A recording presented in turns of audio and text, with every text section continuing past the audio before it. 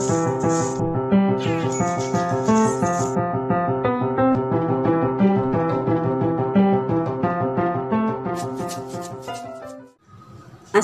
আলাইকুম। ছোট সোনামণিরা, আশা করি সবাই ভালো আছো। আমিও ভালো আছি। নয়নপুর এনএস আদর্শ বিদ্যালয়ের অনলাইন ক্লাসে তোমাদের সবাইকে স্বাগতম। আমি শেফালি বেগম, নয়নপুর এনএস আদর্শ বিদ্যালয়। আজ আমি বাংলা বিষয় থেকে শব্দার্থ নিয়ে আলোচনা করব।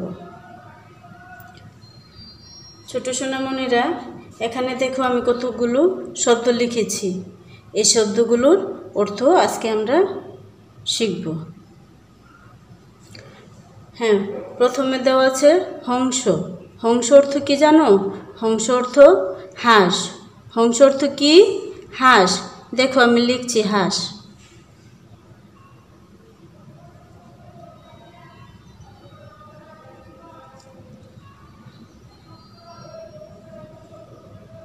হংস অর্থ কি? হাঁস। এরপর আছে শীতল। শীতল অর্থ কি? ঠান্ডা। শীতল অর্থ কি? ঠান্ডা।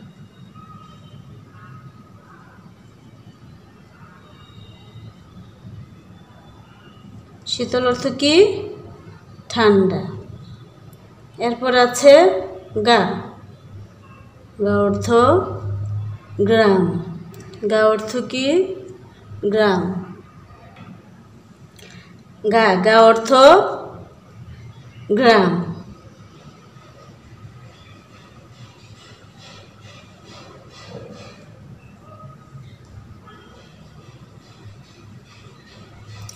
সাজ। এরপর আছে সাজ। সাজ অর্থ সন্ধ্যা। সাজ অর্থ সন্ধ্যা।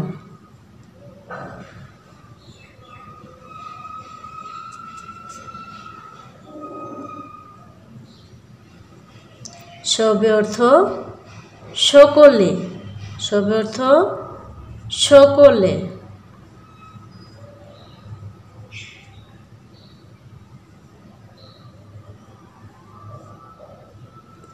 আলসে অর্থ অলস। আলসে অর্থ অলস।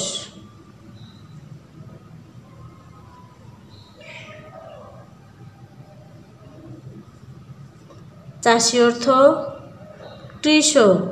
চাষি অর্থ কৃষক।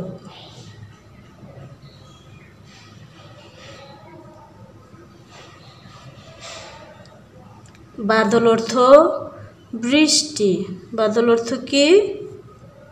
বৃষ্টি।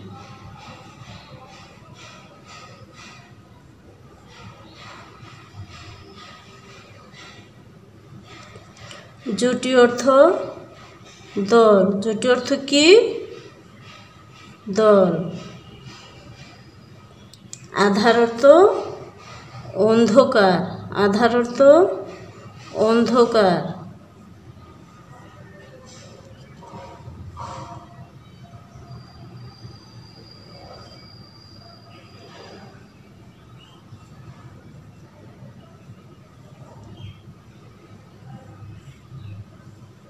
আদেশ অর্থ হুকুম।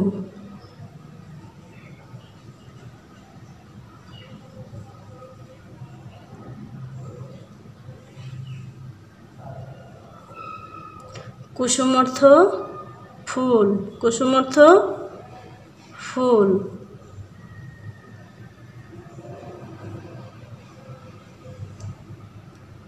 শিক্ষার্থীরা, আমরা এখন এই শব্দ অর্থগুলো আবার পড়ি। বলো, হংস অর্থ? হাঁস। হংস অর্থ? হাঁস। শীতল অর্থ? ঠান্ডা। শীতল অর্থ কি? শীতল অর্থ ঠান্ডা। গা অর্থ গ্রাম। গা অর্থ কি? গা অর্থ গ্রাম। সাজ। সাজ অর্থ সন্ধ্যা। সবে সবে অর্থ সকলে। সবে অর্থ সকলে। আলসে অর্থ অলস। আলসে অর্থ অলস। চাষি অর্থ কৃষক, চাষি অর্থ কৃষক। বাদল অর্থ বৃষ্টি, বাদল অর্থ বৃষ্টি।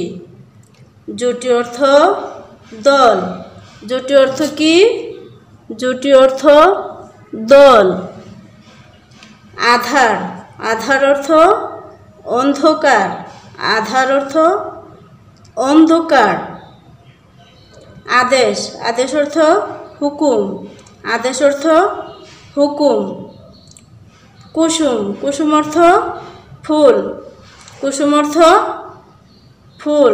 শিক্ষার্থীরা, আমি আবার পড়ছি। দেখো। হংস। হংস অর্থ হাঁস। শীতল। শীতল ঠান্ডা। গা।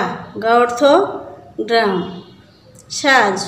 সাজ অর্থ সন্ধ্যা। সবে অর্থ সকলে। আলসে আলসে অর্থ অলস। চাষি চাষি অর্থ কৃষক। চাষি অর্থ কৃষক। সরি বাদল। বাদল অর্থ বৃষ্টি। বাদল, বৃষ্টি। জুটি জুটি অর্থ দল। জুটি অর্থ দল। আধার আধার অর্থ অন্ধকার, আধার অর্থ অন্ধকার, আদেশ, হুকুম, আদেশ অর্থ হুকুম, কুসুম কুসুম অর্থ ফুল। শিক্ষার্থীরা, তাহলে এই শব্দের অর্থগুলো পড়বে। কেমন? বানান করে করে পড়বে, যেন মনে থাকে। তাহলে আজ আমি শেষ করছি, তোমাদের কাছ থেকে বিদায় নিচ্ছি। ধন্যবাদ সবাইকে। খুদা হাফেজ।